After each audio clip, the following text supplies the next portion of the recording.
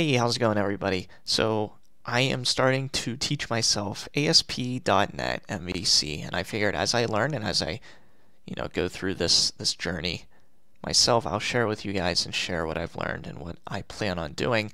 I'll probably make a demo application.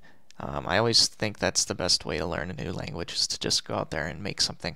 I think what I want to do is I want to make like if you go to tesla.com and you go and you choose your car, right? I want a Model 3 and I want this, uh, and you fill out your info. We're going to make something like that, hopefully. That's that's my end goal. If you like this kind of content, also, I, I want to ask you to hit subscribe. It means a lot to me. And I appreciate all of the subscribers recently. And I went to Microsoft.com and uh, I wanted to find a good definition of the model view controller pattern. Um, and this sentence right here kind of sums it up. Using this pattern, user requests are routed to a controller, which is responsible for working with the model to perform user actions and or retrieve results of queries. The controller chooses the view to display to the user and provides it with any model data it requires. So think of the controller as the middleman. It'll query from the model or maybe it'll query a database which will fill a model and then decide, okay, well, what view are we going to send the user to? Maybe they click on a link and they want to go to a different view. Uh, it'll do all of these different things and display the view. So the first things first, this is going to be a pretty simple first video. We're just going to make sure that you're all set with MVC. We're going to create a new page and pretty much just set up our application. So I have Visual Studio installer here. I'm using Visual Studio Community 2019. It's free. It's what I recommend you get because you don't have to pay for it, obviously. And then you'll hit modify here. And then these are all of the different, they call them workloads that you can download to be able to build different applications. So for instance, I've used WPF in previous videos. Shout out WPF, go check it out. And I had to install this .NET desktop development because it came with everything I needed. And that's basically what we're going to do to run ASP.NET you want to choose Web and Cloud, and then ASP.NET and Web Development. And that will come with everything you need to start making your own MVC app. So once that's installed, I'll go ahead and launch this. And here's all my, you know, I have a problem. Um, I keep creating solutions of projects and I like I tweak it maybe a few things and then I just let it sit. And I need to start deleting all of these different solutions I, I never plan on using ever again. But anyway, we're going to create a new project. And then I really don't like how they change this, but let's see what our options are. We want we want web, so let's change it to web. And we're not doing ASP.NET Core. Maybe we'll do that in the future, um, so I can learn the difference. We want a, actually ASP.NET, and it'll look like this: ASP.NET Web Application. And the only reason it's on the left here is because I've used it recently. So let's just type ASP.NET.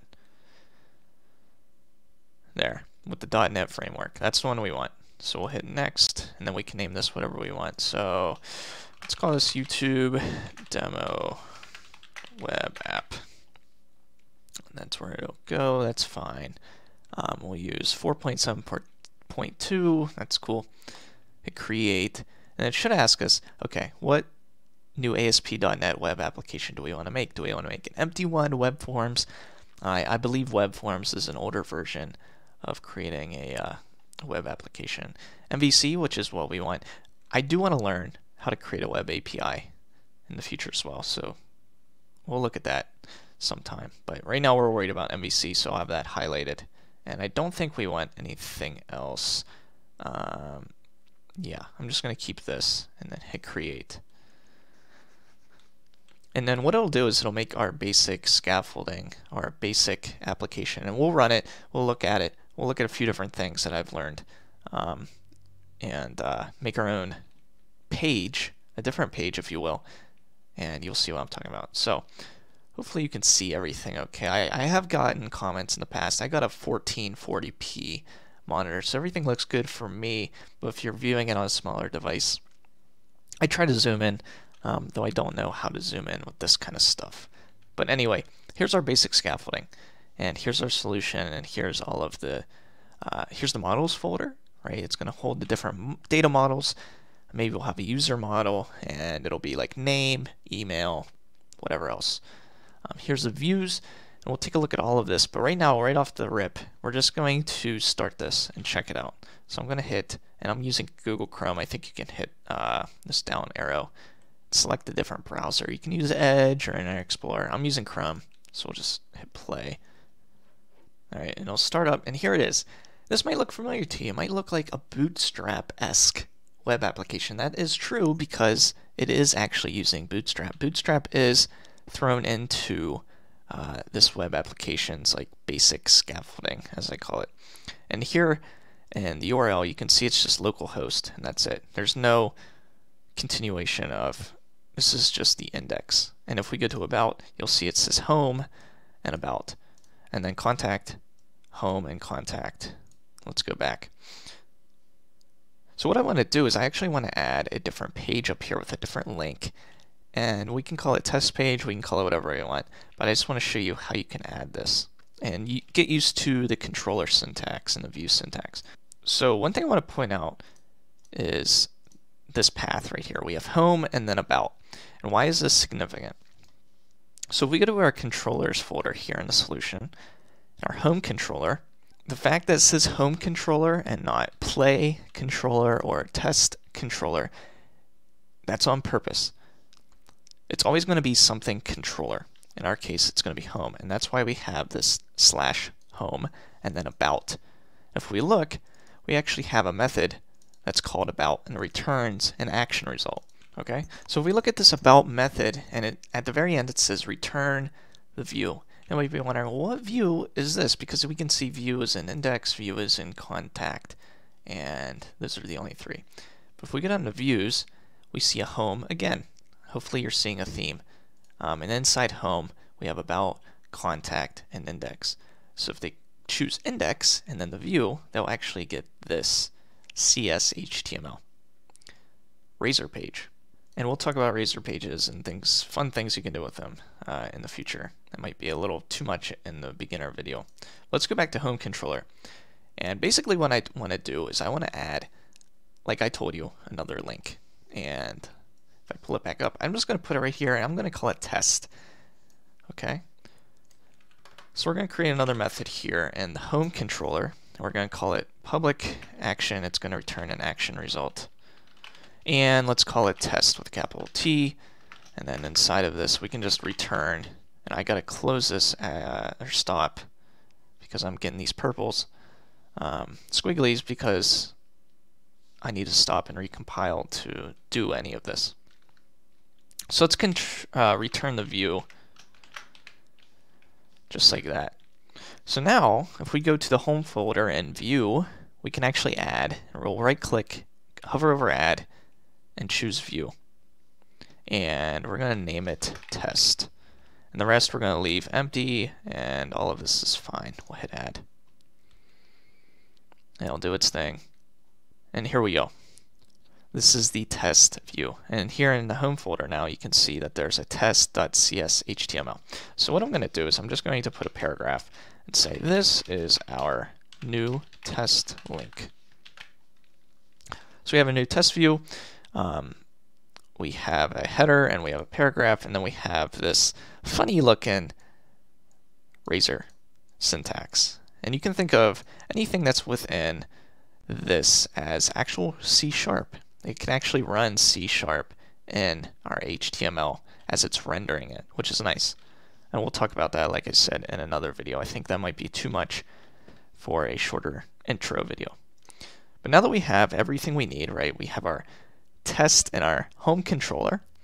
Um, we have our test view in our home directory here in our views directory. The only thing we're missing now is putting it in that group of links at the top, right? And then if we notice, let's collapse this home directory. There's a there's a nice file called underscore view start.cshtml. And what this does is it's it defines the basic default layout of any view. And it says, well, okay, well, what's what's the default layer or layout of any view? And in our case, it's in the views directory shared, and it's called uh, layout.cshtml. So let's find that. So if we go to views, so we're already in views, shared underscore layout.cshtml. This might look familiar. This is the basic, as you saw, the bootstrap stuff of the view that we were looking at. That's why every single page, if we open it back up, that's why every single view here, they all had the same thing at the top. They all had this navigation bar, and then at the very end, they all had this copyright year and then this this phrase, right? They're all the same. And the way that happens, we can close it now, is because they're all using this basic layout dot .cshtml. And then inside of it, they have this render body, which is each one of these. Each one of these is inside that render body. Where that goes, it'll replace that. So right here are the different links. And what I'm going to do is I'm just going to copy one of these and paste. And here's a little bit of C sharp, like I said, in our HTML. So it'll read through this before it renders and it'll do everything it needs to do. Uh, it'll notice C sharp and it'll do something with that um, before it actually renders the HTML for the user to look at. So here's a method action link and you can see it takes in a string for the link text. So what is the link going to say? In our case, I just want to say test page. Okay, that's the first parameter. The second parameter is the action name. And the action name for us is just going to be test. So we'll change this to test because it's in our home controller as test. And then our controller name is home. It's in our home controller. So that should be everything we need to do to serve that up and to put it in that navigation bar there. And now you can see on the very right we have a test page. So if we click that, here's that view that we created with the header. And it says this is our new test link. And you can see it still has the same navigation bar. It still has the same footer as the rest of the views. So we don't have to rehash this code in every single view which makes it really nice. Alright so that's going to do it for this basic intro video. Um, hopefully some of that made sense. If not look over these files some of it may make sense for instance if we go to this app start directory here you can see a route.config and here you can see oh, here's the default page if they don't actually put, you know, slash controller name slash action. Uh, it's going to be the home controller and the index action. And that's why, if we go back, we click this, you can see there's no slash home, no slash index after home. How does it know how to go to this index page? Well, it's because of this default right here. So you can look around at all these different things. Hopefully some of the things will click as you as you look at different things. And in the next video, we'll go and start creating our application. All right, so thanks for watching, guys. Appreciate it. Hopefully you guys are excited about this little series or whatever we, we want to consider it. Um, I am, and I will see you in the next video.